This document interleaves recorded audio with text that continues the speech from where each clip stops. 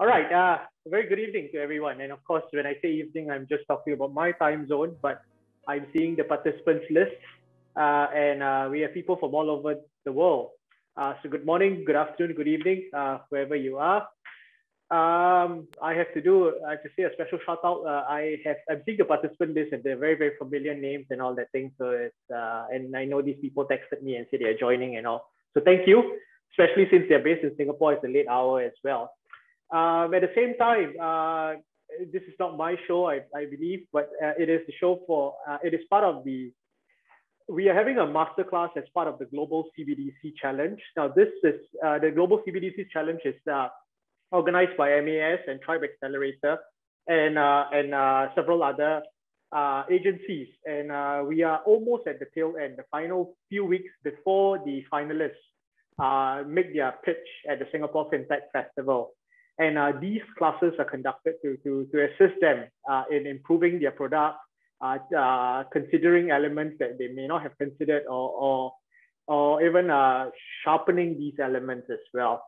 And so today, uh, in a very interesting topic, uh, very contemporary topic, and as a matter of fact, a fundamental topic if you read any literature on CBDC, the AML CFT risks and how we address them. And we are honored to have uh, Radish Singh, uh, a partner, financial crimes compliance leader at Deloitte Southeast Asia, uh, who will be uh, taking us through a, a, a one-hour presentation on AML CFT risk and implications on retail CBDC. Uh, in the next hour, we will uh, have a closed door session with just the finalists, but then I, I will speak again there. Uh, but for now, let's not take any more time from Radish. Uh, Radish, over to you. Thank you. Thank you, Alvinda and uh, the MAS. Uh, thank you very much for having us uh, today. Um, Alvinda's already introduced me and so good morning and good, uh, good evening, uh, good afternoon to everybody wherever you are in the world. And thank you for joining us. I'm also joined by my colleagues, uh, Wong Nai Singh, as well as Meishi, Liu Meishi, and we will be, you know, joining all of you later at the roundtable as well. So let's start with the presentation. Um, right now. We'll start to talk about some of the uh, AML-CFT issues uh, for CBDC, right? Let's, let's get on then. Let's go to the next slide. Right, I will I will skip this, but I, I think you know generally we'll cover uh, some of the key takeaways. We'll also look at uh, the potential AML CFT framework, and I say potential because you know this is something that's still will require a lot of consideration, but we will, for today's purposes, work with some key principles, and then we'll look at you know certain risks that we ought to be thinking about um, when we're going the CBDC way, and what are some of the controls, right, that we should also be thinking about. We'll then do the Q&A session later. Yeah, we'll, we'll get on then to the next slide, please. Meishi, thank you. And next slide. Right. Now, in terms of the CBDC, I don't need to really explain that because most of you will be uh, very familiar with that. In fact, you'll know more about it than, than me, especially for those who are participating in the challenge, right? But the point I wanted to make here, the important point really is about um, is really about uh, the key risks, right? And and the it, depending on the model that is eventually uh, chosen, uh, the, the, the risks are different, right? If you look at the general principle, uh, when we talk about digital currency today, and I'm, I'm using a very broad uh, brush uh, example here, typically it's always about anonymity, is about uh, you know the lack of identification and verification, uh, the lack of regulatory oversight or the, the lack of monitoring, yeah, monitoring by issuers, as it were. And, and I know we will come to CDBC, which will be, you know, obviously issued by central banks is slightly different, but I'm just using the same principles because um, that gives us an understanding of the type of issues and controls we need to consider as we go on this journey, right? And also uh, the, the issue that always you know worry uh, practitioners and regulators is the lack of uh, audit trail and traceability. And those are the type of issues with the CDBC uh, initiative that we hope uh, will be easily addressed, right? And even in doing so, it also depends on the kind of, uh, on the type of model we chose, that we, we eventually choose, whether it's token-based or account-based, right? And we'll, we'll also go through some examples later where different jurisdictions have uh, used different, you know, or, or, or maybe thinking um, uh, to, of different approaches, right? And again, if we go by the token-based approach, then we still are looking at uh, anonymity as an issue, right? Uh, simply because the manner in which it operates. And if we go by account-based, uh, that uh, probably would resolve some of those issues, give us greater traceability, uh, and at the same time, we will give us an opportunity to understand and uh, also verify identity of uh, uh, individuals. This is very similar to the current framework that we operate within, right? So if someone has to open a, a, bank account, we, we simply have to do the KYC, do the identification and verification. And I'm not really here talking about the regulatory arbitrage where the standards can be different in uh, different jurisdictions, but I'm saying that um, if we assume that the standards are going to be harmonized and standardized, that we are going to go, uh, we are, we are uh, you know, looking at a, a world that is seemingly uh, narrowing the arbitrage where, you know, the adoption of the FATF standards uh, is increasing. So then, uh, you know, that's really where the identification and verification uh, becomes really useful for the purposes of CDBC, right? If we can harmonize and standardize uh, the application of the same, right? Uh, so I think that really um, uh, is uh, uh, some of the core principles that we work with when it comes to uh, AML and CFT requirements. But of course, we recognize that going with digital currencies today, especially central bank backed ones, is that it certainly would, you know, enhance efficiency, financial inclusion. We recognize all of that. In fact, as a practitioner, uh, a financial crime compliance practitioner, I'd say that it would also enhance, uh, depending again on the model, if we go the account-based way especially, it will help us significantly in our monitoring, um, you know, in our monitoring initiatives as well across the industry uh, you know, where we can innovate further in that, uh, in that aspect. There's greater traceability. There can be various um, um, options that we can think about, even if we look at sort of, you know, a lot of discussions happening today on industry level utilities uh, to monitor transactions. Uh, you know, I think that those are the type of things that are very achievable uh, if there are uh, you know, we're working with in, within a digital currency uh, framework, right? So that is our, you know, that's our hope as well uh, as we move along, right? We'll go to the next slide, please. She, thank you, right? Uh, yeah, I've touched on this, the benefits of, uh, um, uh, you know, going the CBDC way and what sort of things that we can look at from AML CFT perspective, right? I talked about this earlier. The key thing is about uh, unmasking uh, anonymity, right? To make sure that there's more traceability, right? If there is a unique account for each individual, uh, there is a unique identity of each uh, each uh, individual that's hold, holding uh, digital currency or CBDC, then that makes our life that much easier in terms of dealing with the anonymity issue to, to, to a large extent. Um, and of course, uh, the question always with CBDC, uh, the international you know, principles that we work with, um, you know, have to also be harmonized. The standards have to be harmonized. Uh, and ultimately, I, I, think at some point we have to come to an agreement as to whose responsibility and accountability this is. Is it the central bank that's issuing the currency? That'd be quite fun to see, right? Or or, or is it the supervised entities whose responsibility ultimately, right? Where, do, where, where would the legal and regulatory responsibilities sit? I think that's another question uh, to be answered, but uh, we hopefully will get there, uh, you know, at some point. Uh, the other thing is also about allowing, uh, making sure that everything is traceable. There is an audit trail.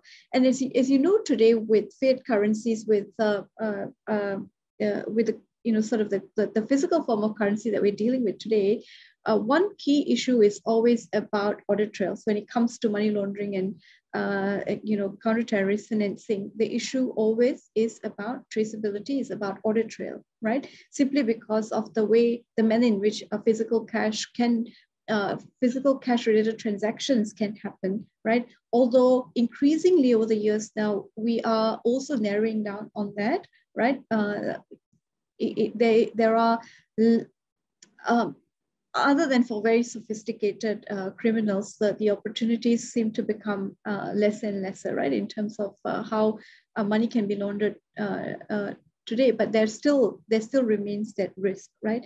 Now, whether digital currencies will um, alleviate all of that when it comes to fraud, money laundering, terrorist financing, um, we hope that it will be significantly lesser, but the risk remains. And therefore, a framework, AML CFT framework, in my opinion, is still required, a good, and that to a good one, right? So um, the, the, the third point or the third benefit of uh, uh, CBDC certainly is also greater oversight, right, of uh, risks. If uh, the entire, um, you know, uh, we can move towards full form of digital currency. Um, and every single individual who holds an, uh, an account uh, has, can easily be identified. Um, and we have uh, audit trail of the movement uh, movement of the currency, right, or the funds, as it were, that makes our oversight ability a lot more easier, right? And we hope that that is one of the benefits that we will see uh, along the way. Yeah. Moving on, please, to the next slide, Meishi. Thank you. Right. Well, let's talk about some of the key takeaways. And as you know, I think a lot of you, uh, you know, have attended a lot of the master classes and you've been part of this uh, challenge as well. The uh, here's just a quick snapshot of the initiatives uh, of uh, the, the CBDC initiatives globally, right? The green uh, countries depict their CBDC retail initiatives. The ones in blue um, is about wholesale initiatives. Uh, and then the lighter green or the, you know, sort of that uh, teal, I, I, don't know what color that is, but uh, uh, uh that shows wholesale and retail initiatives, right? And the, the, the BIS report this year actually suggests that some 86% of central banks in the world are already researching or, you, know, and seriously or actively researching uh, um, digital currency and, and uh, mainly the the uh, the retail the the, the sort of uh, uh, central bank backed retail I think initiative is the one that we're seeing a lot more right? So we ultimately hope that this will become the safest uh, form of uh, money. That's uh, that that is certainly the intended consequence, I would say. Right. Next slide, please. Right now, um, we talked about some of the issues in terms of anonymity, traceability, uh, and of course, oversight, uh, identification, verification type of issues. Uh, I'll, I'll, share with you some examples, um, you know, where certain countries are trying certain approaches as we speak now. Now, if, if, we look at KYC approaches, all right, how do we conduct identification and verification to reduce uh, the risk of anonymity? Um, now, account-based uh, tokens, uh, of course, uh, when we looked at uh, you, you, know, whether we go the account-based account -based way or token-based uh, approach, uh, the key thing is always to remove that uh, anonymity issue, right? The identification requirements uh, are, are, important, right? Now, so that's one way to address the risk, certainly. And, and the example here that we have is People's Bank of China and the National Bank of Cambodia, that, you know, they have different approaches. Now, China has gone the account-based approach way, and uh, uh, Cambodia is looking at token-based uh, approach way. Uh, but again, uh, ultimately, the uh, the controls that are being put in place by Cambodia, as you can see from here, is limiting the transfer amount, right? So that's one form of control. If you know, to a certain extent, it's like a, a prepaid card payment today, where uh, the the well-known control is uh, is the uh, threshold limits that are imposed uh, on such transactions simply because you know it is uh, uh still anonymous. Uh, it can change hands easily, right? The, the traceability is not necessarily that easy. So the way the government here, at least in Cambodia, is thinking about it is through threshold, right? Uh, and of course, you know, uh, China is going the account-based approach way, which is possibly what we know uh, uh, a very sound uh, approach in terms of creating a record for every single account holder, right? so these are the two approaches that we we can share for today. We've seen, right, as far as anonymity is concerned, right? Let's go to the next slide, please. Now, for uh, standards for interoperability, I think this one again uh, requires a lot of thinking uh, through harmonizing legal frameworks globally, right? So, um, I guess the, uh, uh, the, the these are broader broader than AML questions certainly. Uh, but what happens with this is that, of course, we want to achieve interoperability, but with with with this also, it, it, means that the harmonization of cross-border standards has to be there.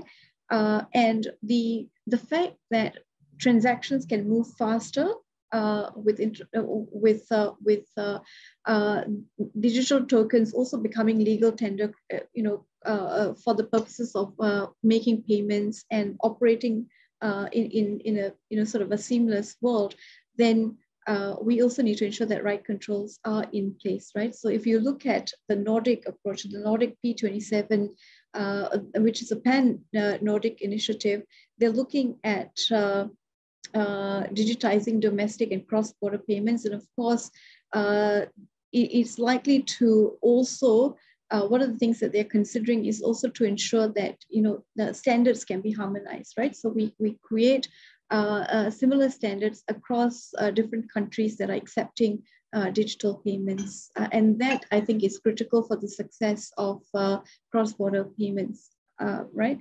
And of course, uh, National Bank of Cambodia again is uh, uh, an, an example where they're also trying similar initiative across neighboring countries for the movement of funds. Um, it, it, will allow customers to transfer funds uh, from Malaysia to Cambodia as a start, I think, and ultimately it will be bilateral for both countries. Uh, but I, I think that for for uh, cross-border payments monitoring is a is an important uh, uh, you know it's, it, it, it is an important perspective uh, and now that is still uh, something that we don't know enough about how governments eventually are going to agree on making sure that there's sufficient uh, monitoring of the flow of funds, flow of payments, uh, the cross-border flow of funds, that will be an interesting, uh, you know, something that in, in, in an interesting development to look at.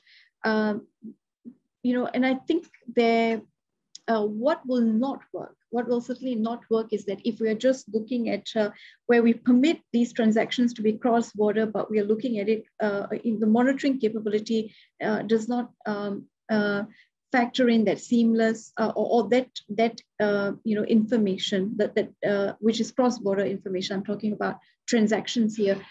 In order for any form of monitoring to be successful, uh, it will be interesting to look at how governments are going to agree on uh, the sort of bilateral sharing of information and making available information on you know how the what sort of uh, uh, change of hands we're looking at and whether that in itself uh, suggests any form of anomaly in the transaction itself, right? So uh, the, the fact that transactions can move cross-border and can move uh, rather quickly uh, also, you know, creates a lot of, I think, or, or, requires a lot of thinking through and how monitoring can be put in place, right? Okay, we'll move on to the next slide, please right? Some of the uh, uh, uh, the other uh, you know sort of uh, um, reduction of burden. One of the things that we looked at was efficient monitoring uh, for customer activities. Right? And I, I, think I talked a little bit about that with the cross-border payments that certain countries are looking at. but also, you know, I, I personally think uh, as a practitioner that we have, uh, with, uh, with digital uh, token or di uh, rather digital currency, the potential to reduce uh, the current compliance burden is certainly um, you know, something that, that may eventually happen, right? simply because if we go by the account approach, then uh, we eliminate a lot of the anonymity issues uh, as well as create a lot more traceability. So those two are really fundamental uh, principles to work with, which will allow better monitoring. And now, um, at a national level, it's always uh, easier to do things. It's easier to monitor things. But like I said in the earlier slide, the, there are broader and bigger issues uh, to address when it comes to cross-border uh, transactions, right? Uh, but I guess to the extent that we're looking at it from national level, and if we do choose the uh, account approach, a lot of these issues are, uh, you know, are easier to address, right?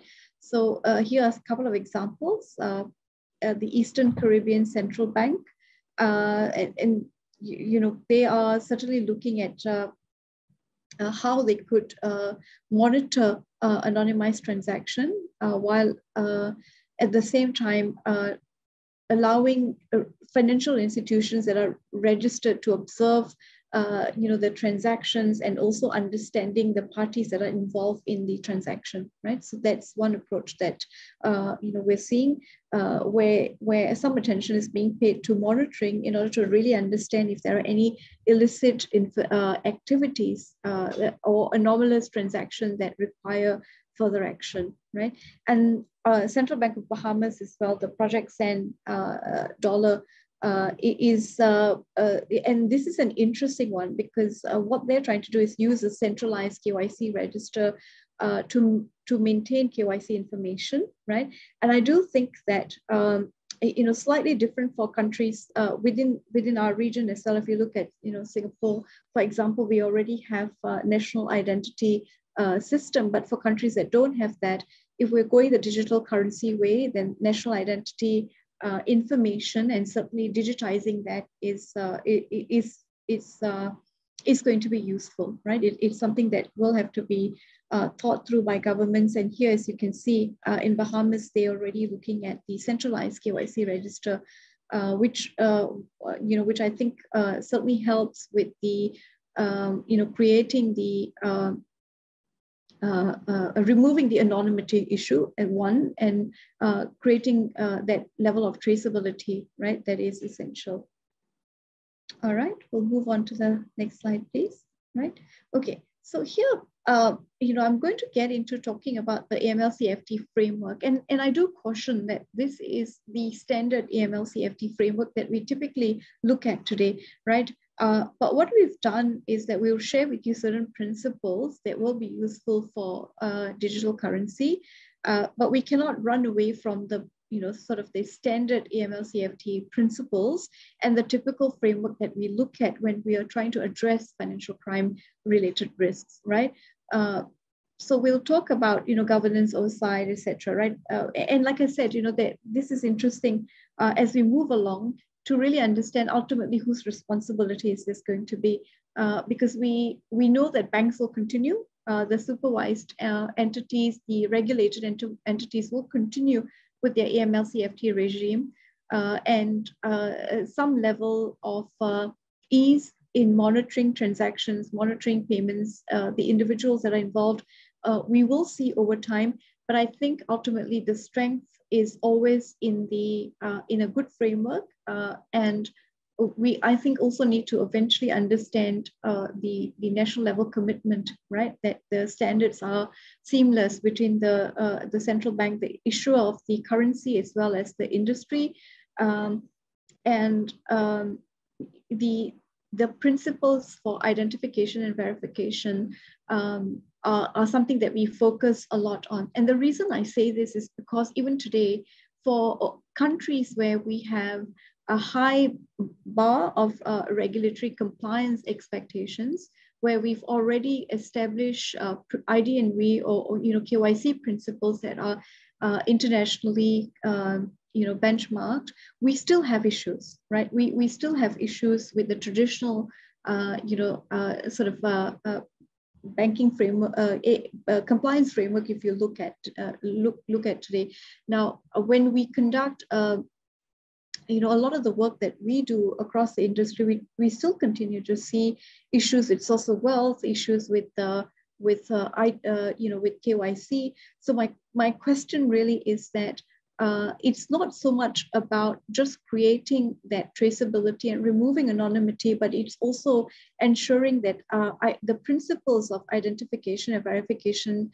uh, you know, uh, are not relaxed, right? We continue to up our game uh, in that uh, aspect, right? Because nothing should really change uh, with someone uh, eventually going down uh, owning digital currency, right? So that I think uh, is a core principle that we, we will always need to adhere to and maintain, right? Can we move on to the next slide, please, Nishi? Thank you right? So some core principles here, uh, you know, we'll talk about governance and oversight. Uh, we'll talk about uh, CDD, customer due diligence, right? We'll talk about monitoring and, uh, of course, other risks like uh, terrorist financing, uh, proliferation financing, and sanctions. Okay, we'll, move on. Yeah. Okay, so the implication really, if you look at it from um, AML CFT perspective, uh, and we talked a lot of, about this already, it's inadequate assessment of risks money laundering, terrorist financing, proliferation, financing risks, um, these risks will remain, right? They're not going to go away. Um, now, if we use, uh, you, you, know, where the, the, the, the potential of transactions to happen even faster, because everything is on a, a distributed ledger or blockchain or whatever form, uh, you know, of uh, technology that is eventually uh, you know, that eventually is going to work, uh, the, the, um, the fact that we will be subject to financial crime related risk doesn't go away. So what does that really mean is that we need good controls in place uh, nonetheless, right? Even if we uh, uh, ultimately have certain benefits arising out of uh, going and, and embracing digital currencies, right? Uh, now, the, the other uh, issue is also again undefined roles and responsibilities as we have on the slide here is really about, uh, you know, the, um, the, the, the overall framework in terms of, you know, third party providers, the uh, bank, the whole ecosystem to work together, uh, as well as regulators, enforcement agencies, the central bank, which is the issue of the currency, right? So I think it is ultimately collective responsibility.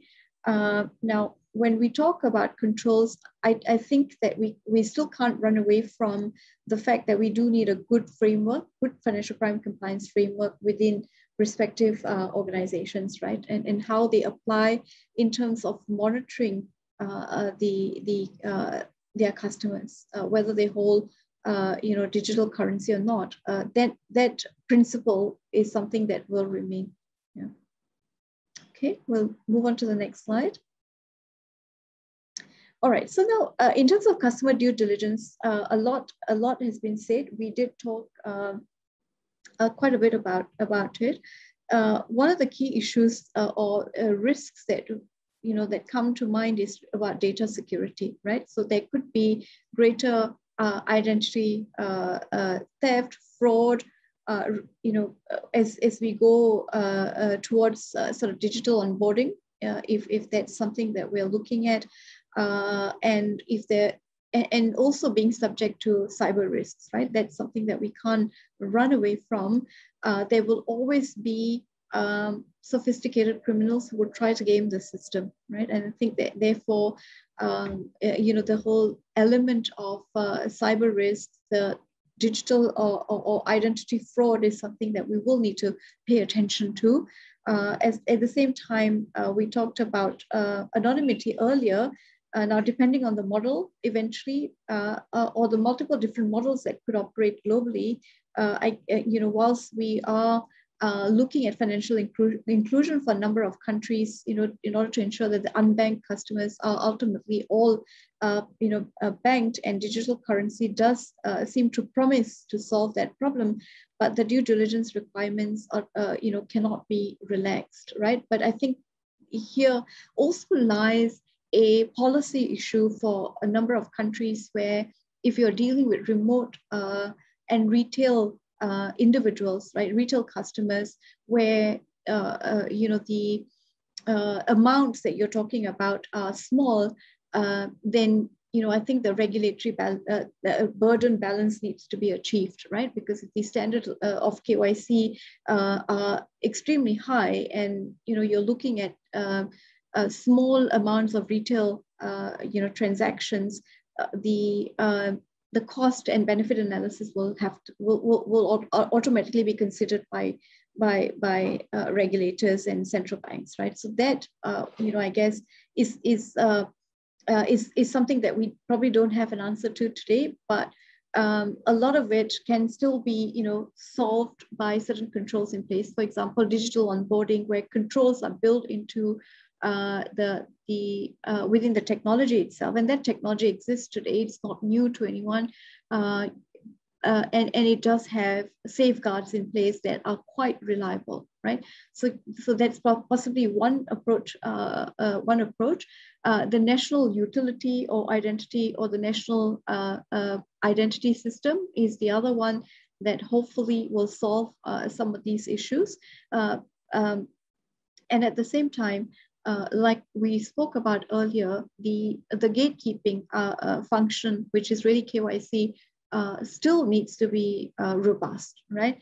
Um, and you know, here one of the things that we talked about uh, as controls is also tiered CDD, right? looking at it from risk-based perspective, the, the higher the risk, the possibly the you, you know that again, when we say risk-based approach and the higher the risk, the, the higher the KYC standard, uh, you know, that also has to be ultimately defined, right? Because sometimes uh, even small amounts, uh, especially with terrorist financing, uh, where there, there is no single uh, typology that we are really looking at, there could be many different ways of um, furthering that activity. Even small amounts sometimes are not free of risk, right? So therefore, the need to really define risk when it comes to uh, looking at customers uh, in this uh, in this within this framework, right?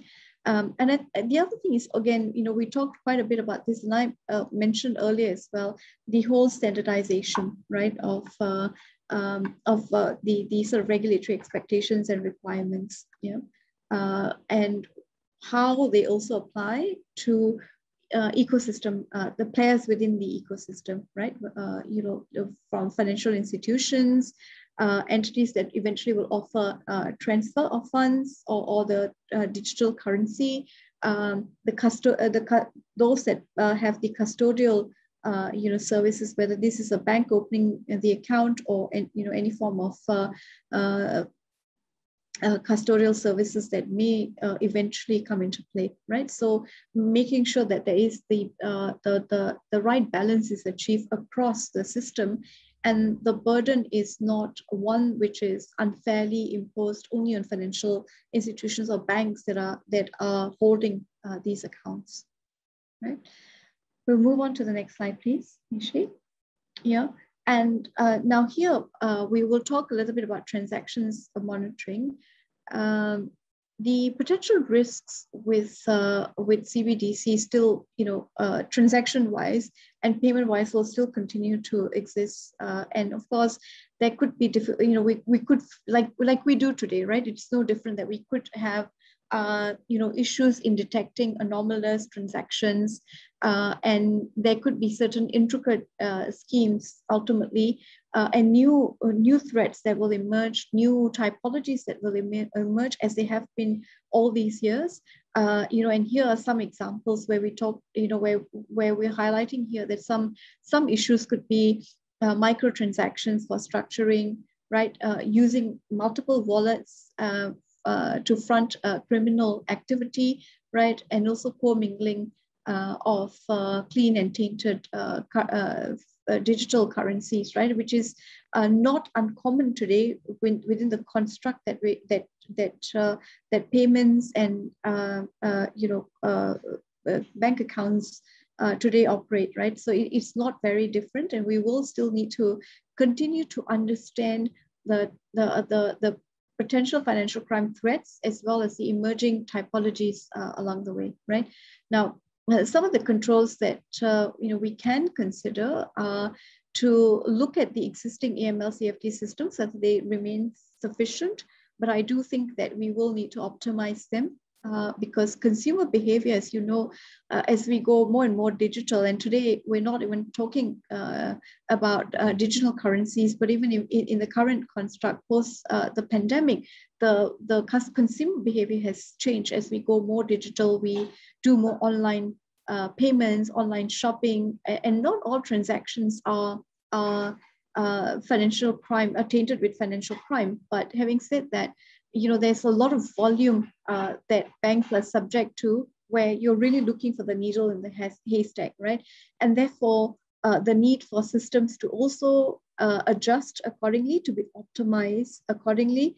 And here again, I would always call out that one of the things that we should always, we should strive uh, globally to think about is national level utilities uh, for the purposes of uh, monitoring transactions, and especially when we go the digital way, um, simply because the vantage point that we have when we look at uh, uh, you know utilities at national level, we look at transactional data at national level, we look at payment data at, at, at national level, we see we should potentially, and we've uh, you know we've had certain successes in some countries where we see a lot more uh, when we go uh, towards that national level monitoring utilities, right? So that uh, you know, I would I would think that should be on the cards that uh, you know governments should consider and policymakers should consider uh, because I, I do think that the, uh, the if the burden remains on financial institutions alone uh, one it's you know we, we tend to continue to you know that the regulatory burden continue to increase there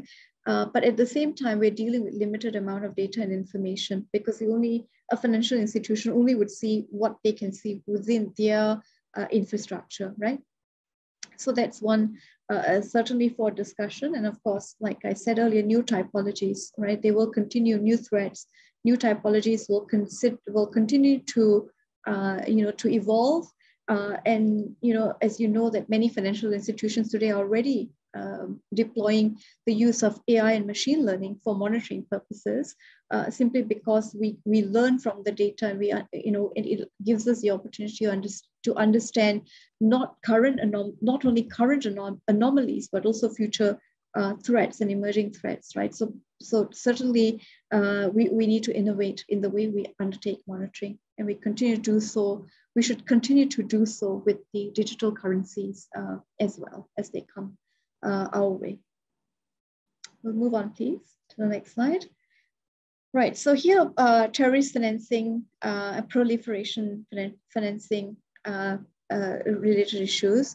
Now, some of the risks, uh, you know, and I did mention this, regulatory arbitrage is always a key issue, right? It's uh, not just for terrorist financing and proliferation financing, but across the financial crime framework, but more so when it comes to you know, sanctions, uh, uh, etc. Right, more so. regulatory arbitrage becomes a problem even in the framework that we exist in today, right? now, if CDs, C, CBDCs continue to be built um, at what we call the national silos, uh, you know, what we don't want is uh, uh, sanctioned countries to bypass restrictions and then target the weak links within the, the system, right? So that is, uh, is uh, always an issue. Uh, so therefore that, that regulatory harmonization is important where we, you know, we pay um, uh, or we embrace uh, the standards when it comes to monitoring terrorist financing, proliferation financing, uh, as well as sanction and particularly the, the way we enforce sanctions uh, the way we, uh, we, we, we adhere to sanctions uh, requirements, right? That becomes uh, a lot more important as we move forward. Um, also the anonymity in cross-border transactions, we talked about that earlier. Uh, now the peer-to-peer -peer transaction remains an area of risk that may, and where we, what we do like to achieve there is ensuring that there's uh, you know, appropriate payment uh, filtering and uh, or payment screening that should be performed on counterparties, right? uh, if, if uh, uh again, uh, uh, now screening is not the answer to everything, but that's one way to manage uh, a risk and ensure that we put in the right controls in place, right? So some of the proposed controls here, as you can see, one is transparency, which requires coordination, cross-border coordination between governments, between central banks, between regulators, between enforcement agencies, uh, in order to uh, you, you, know, address uh, sanction-related issues, any uh, uh, anomalies that can be potential risks. I, I think that again, uh, you know, and I think transparency is a big, it's in, in this context, uh, what does transparency mean? It's not just about sharing of information, uh, or I'd say one thing is uh, sharing of information. The other thing is uh, also uh, proactive surveillance because um, where where it where where we ha we have the legal construct to share information, with, to share typologies, to share uh, anomalies that are being seen, uh, you know, in one jurisdiction with the other, and and and and in the same way being shared with financial institutions so that they are aware, right? So it's, it's not just always bottom up from financial institutions going up to enforcement agencies, but as you know, it's really important. And I think increasingly we're also seeing the other way around where enforcement agencies, FIUs are sharing that information with the industry. I think that needs, that framework should, uh, you know, continue to evolve and be enhanced, right? Because that's really, um, it's really about a collective uh, effort to uh, deal with uh, sanctions related issues, especially with cross-border uh, payments, right? And um, programmability here, you know, what we're really saying here is that, uh, you know, because uh, CBDCs can be designed to uh, prevent um, wallets that have you know, basically, you know, to to again uh, the, the issue is really about sanctions related risk, right? And, and the programs uh, on sanctions compliance. So ultimately, the program has to be harmonized. It has to be designed in such a way that, uh, you know, we can uh, prevent wallets from, uh, you know, well, there can be preventative measures, right? It's, it's certainly, uh, you know, requires a lot of work, but, uh, you know, it, it, should prevent wallets from making you know, from facilitating uh, payments in, for the purposes of terrorist financing, proliferation financing, or uh, or sanctions or contravening uh, sanctions requirements, right? So that's really, uh, again, it, it means uh, that we need to harmonize the standards. We need to make sure that there is a proper framework around monitoring. at the same time, that level of transparency that we're looking for should be there, right? Uh, and also limiting any anonymous transaction. In fact, you know, preventing anonymous uh, transaction is, is certainly important for um, the, uh, the framework, the, the, the, the whole uh, uh, payment framework from not becoming a weak link, right? It, it, it you know, any good, uh, you know, sort of ultimately the, a good objective that we, you know, or good outcome rather we want to achieve is to make sure that we are uh, there are no weak links within the system across, uh, you know, across the industry or also across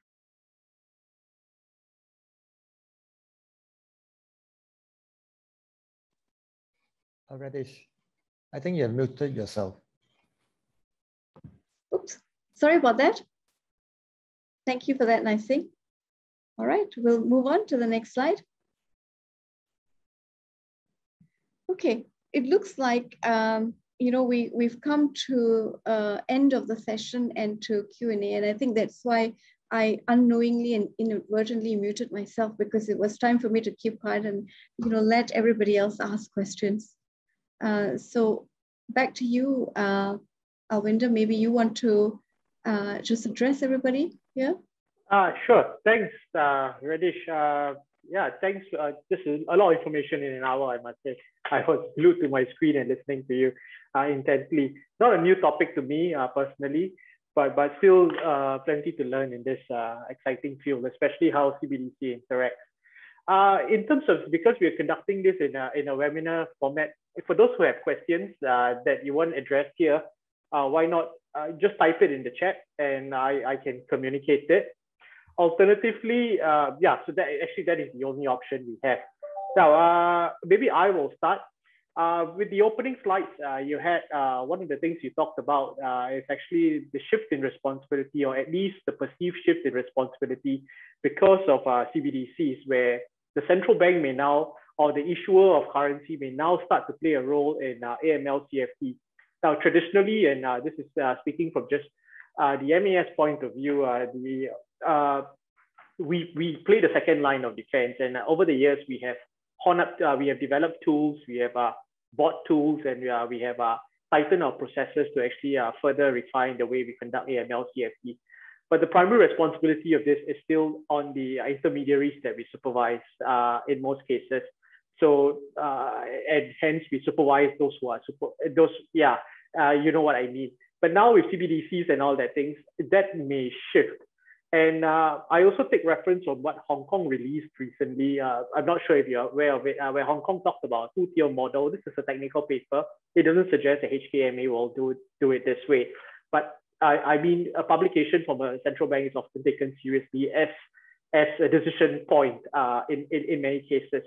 And so Hong Kong has decided that, hey, even this shift to a central bank taking on more responsibility for uh, AML CFT uh, it's actually a very difficult uh, shift to make uh, uh for, for many reasons. Uh, so, so maybe I, my, my question is a broad one, and we can actually take this to the next hour as well. What are your views on this? Do you think that this shift is going to happen, and uh, how will how will central banks react to it, and, and what is the impact on on the man on the street, and so on and so forth?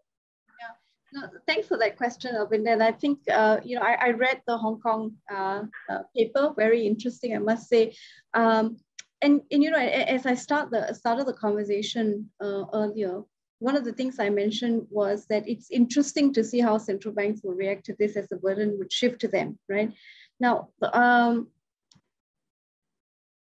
I, I myself being an ex-regulator, you know, I can certainly understand this from policy, you know, perspective. One is policy, one is also the the, the sort of that construct that we've been dealing with for years and years of how you know uh, uh, supervisory agencies or central banks uh, that have supervisory you know functions um, typically are uh, you, you, know sort of the oversight authority if you like right? So you're monitoring others.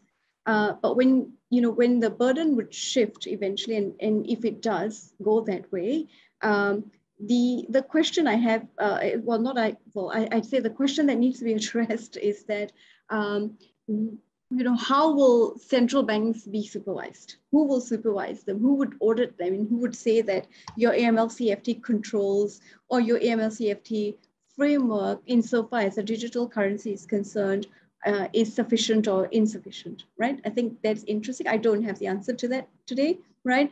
Uh, now that is something, that is a framework that has to be thought through.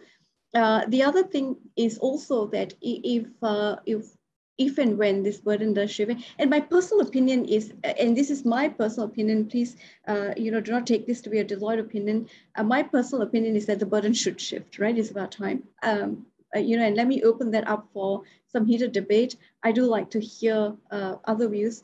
The, the other issue is one, you know, one issue is, uh, you know, about supervising uh, the supervisor, and the other, the other thing is opening them up to regulatory risk, right? If there are failures, if there are weaknesses in the framework, then how is that dealt with, right? What's the legal framework um, do, do, do we, you know, uh, do we use uh, in order to address that? And the third issue is that what does it then do to public confidence? What does it then do to um, you know, if there are weaknesses that are seen right at the at the sort of the central bank level, then what does it do uh, uh, to the public confidence that's holding on to digital currency? So I think these are some of the things broadly that need to be thought through, right?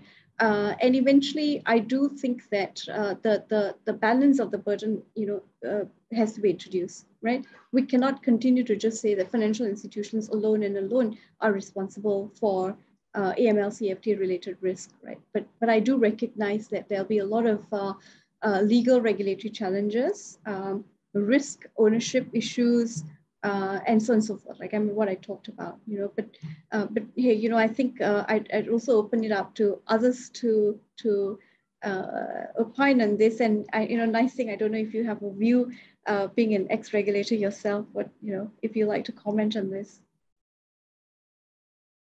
Uh, thanks very much, Radish. Um, obviously, I, I, am not a AML professional, so I, I don't have a view from that perspective. Um, but being trained as an economist, I guess one consideration would be who has the comparative advantage in uh, conducting the KYC and you know, the necessary transaction monitoring and so forth. And um, there could be arguments, right, that um, the central bank having access to um, all the records coming from all the regulated agents, uh, institutions uh, would actually have an advantage over uh, individual institutions trying to do that work on their own based on partial information. So that's one possible perspective. But then similarly applying sort of an economist perspective, um, we have also to consider uh, how would this then change incentive structures within the financial system? And um, would that lead to sort of in um, sort of, I guess, uh, unintended consequences in terms of intermediaries um, taking excessive risk uh, in terms of onboarding customers and, and, and undertaking various transactions uh, that may actually uh, lead to an increase right in AML CFT risk. So I, I think um, very difficult question that Alvinda has raised uh, and no simple answers. I, I think this uh, shift in possible shift right in uh, responsibility or, or ownership of um, KYC and um, overall uh, responsibility for AML CFT risk uh, would, would be something that uh, needs to be really thought through very carefully. Got it. Uh, thank you, Dyson. Thank you, Radish. Now, uh, just some Q&A that came in on the chat function here. And again, for those who want something more interactive, we will have the next hour to speak about this and unpack this. But just a Q&A from James here. Uh, just a question from James, actually. Can you say more about how banks in a two-tier system, so I think it's the reference to Hong Kong model or, or, the, or what you described earlier as well, will be able to use the same KYC AML system. That means not changing, I, I think the genesis of the question is not changing their current uh, mode of operations, but but uh, but uh, allowing it to function in the two-tier system. Uh, would you have any views on this? No, um, that, that's a, that, you know I, th I think that's a great question, but also a difficult one at the same time, right? Uh, now, can we use the existing uh, framework? Uh, I guess in terms of if we go by the principle of it, yes, we, we should be able to use the same uh, framework, but with some level of uh, you know adjustments as may be required, right? Now, um, I, I, I think the, the, the key is about uh, understanding the, the risks, right? Um, what, what really changes uh, is the fact that, you know, if we can say that with, with the two-tier model, in one of them, there is, uh, you know, lack of, uh, let's say, for example, there's uh, no risk of anonymity, there's no, uh, you know, sort of lack of, uh, there's no risk of audit trail, then, then we can use a slightly different standard of monitoring because the risks are lower. You know, that, that is one approach. But, you know, I I I simply feel that we don't know enough today, right? Um, and I and I and I want to be uh, a little bit cautious as well at this stage to say that you know we can uh, lower the standard for one or the other. And I, I you know I, I don't I today I don't foresee that, right? Um, what I would still say is that the KYC standards don't change, right? Because when you identify your customer, it really uh, you know uh, doesn't matter at that point because you need to verify and identify your customer that the customer itself is um, whiter than white, as it were, right? Uh, there are no financial crime related risks associated with the customer. The source of uh, funds uh, and wealth, if as applicable. Now, again, I'm, we're talking retail here, uh, and we don't necessarily need to, you know, consider the private bank uh, type of standards. But, you know, generally speaking, that level of scrutiny is still required. So that doesn't change, right? Uh, but what may eventually change is that if, if we're going by the account uh, based approach, then you know the audit trail traceability becomes easier, right? Anonymity uh, obviously is not the issue, but I, I would still say that KYC remains the same, right?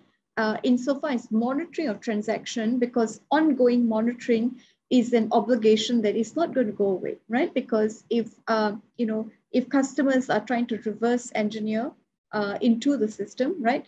where they appear to be absolutely clean at the point of onboarding, but later on, you know, are, are showing signs of potentially demonstrating that there could be some financial crime or, or money laundering happening later on, the ongoing monitoring obligation doesn't change either. So, you know, I, I do think that is something that we need to drill deeper into. And I don't think I personally would have the answer today, really, right? Uh, no, uh, Radish, actually, I, I totally agree with you. I, I don't think the fundamentals will change as much. I think we are building things differently uh, using different tech stacks and all, but uh, sorry, are you speaking? Because uh, I, I see your lips moving and Radish, are you speaking? Sorry, I'm having so much of uh, some technology. No, I said I totally agree. Agree What's with that? the fundamentals don't uh, change significantly. All right. Uh, no, uh, thanks. I, I think we have time for just one more question. And I, I was looking at the chat again, and there's an interesting question that came up where the current standards, uh, FATF standards, are not as effective in tackling terrorism financing and the CBDC framework uh, could be effective if uh, the global policy on terrorism financing was much more stringent uh, than current standards. But the author of the question also acknowledges that uh, this, this, kind of consensus building is tough. And so hence uh, the question is, will this means that CBDC or the use of it is relegated to intra-border? So I think in this case here, the author means just a closed loop system uh, within say wholesale, with, within banks or within just trusted entities and will not be as widespread. So uh, just just based on the limitations of uh, the FATF standards and so on and so forth, what are your views on it?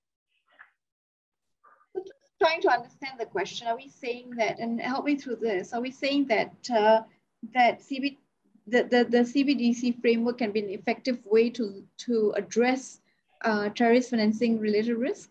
What I, I, I think that's what the author is saying. The CBDC framework can be effective if there is also a concerted effort to actually improve uh, the policy on terrorism financing and all. And therefore, because of, and he, he acknowledges, I, I'm, I'm not sure the gender, the individual acknowledges that this kind of consensus could be difficult.